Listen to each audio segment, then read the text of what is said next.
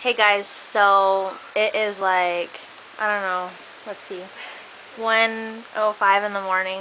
We just started to go to sleep and now it's like hella thunderstorm and raining. Like, I thought somebody was like taking pictures and it was like lightning from far away and now it's like pouring and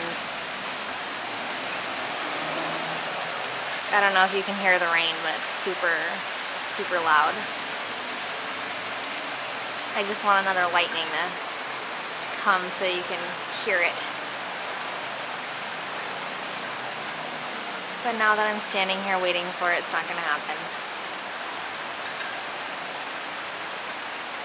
Oh,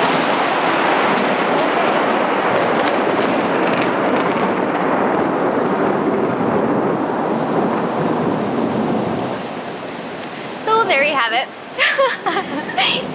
so I guess bedtime is not happening right now. So, yep. You can see the street is like already, oh yeah, dark. Okay, well, yeah, that's what's, that's what's going on in Paris, France, one in the morning.